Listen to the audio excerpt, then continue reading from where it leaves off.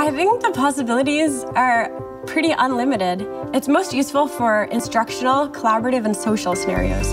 Anything where you can say, hey, how do I do this? Help me wire up this light up card, anything that's DIY, anything where you say, let me show you.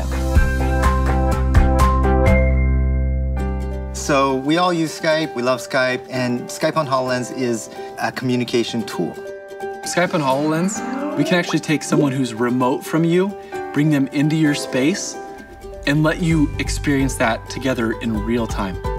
Everybody has had something in their house that they've tried to repair and didn't quite know how to do. So Skype on HoloLens, the other person does not need to have a HoloLens. They could be on a tablet or a computer. And we both can add things to the world together. As soon as they answer, they can draw on surfaces and they can add images and move them around. And I also have those tools.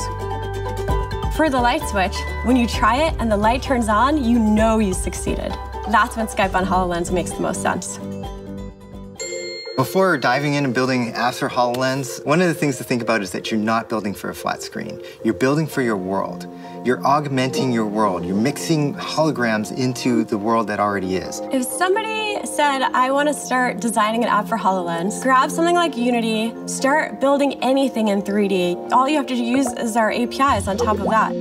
The way that we take experiences that exist today and push them into a HoloLens where they can be mixed reality and a part of your real world is amazing. Building apps that leverage your world is a really great way to broaden your, your horizons. It's just a ton of fun to, to learn what is possible.